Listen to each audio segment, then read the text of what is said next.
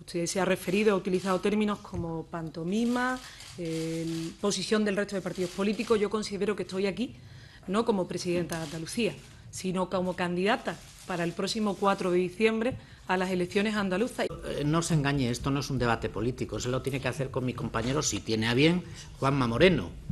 aquí con que me responda a los temas que yo la planteé, punto final, ¿no? Yo comprendo, entiendo que usted busca un minuto de gloria a mi costa, yo lo comprendo y además me parece legítimo. Y además si lo hace 24 días antes de unas elecciones, incluso algunos en sus filas se lo pueden hasta agradecer.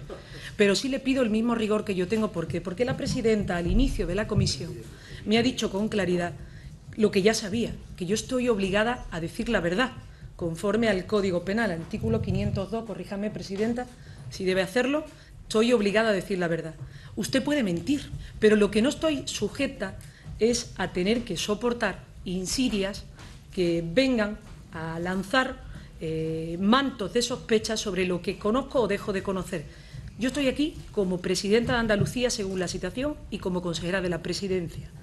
Me someto a la responsabilidad del tiempo que he ejercido en el Gobierno de Andalucía. Hizo una llamada a la Consejería del Empleo cuando el escándalo salió, a la luz y empezaron a revisar y a romper papeles.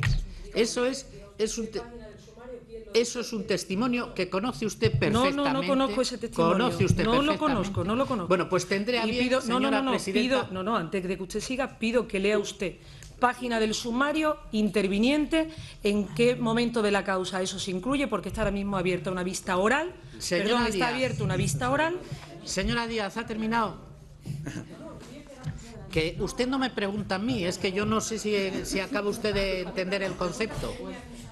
Yo no acuso a nadie. Yo le hago una pregunta, usted me responde no, pues ya está. Para mí se ha terminado la pregunta. Vamos, lamento que mis respuestas no le satisfagan. Yo lo procuro.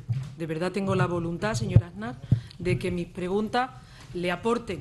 Seguramente no tengo el nivel en la respuesta que usted eh, demanda en sus preguntas, pero lo hago con toda la buena voluntad.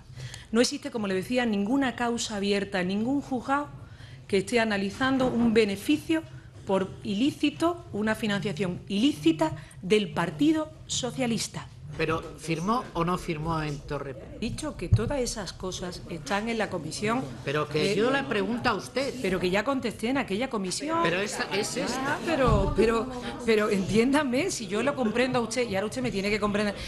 Me llama la atención, se lo podía haber dicho con grasejo, cosa que creo que no tengo, pero se lo voy a decir eh, con toda la solemnidad que pueda.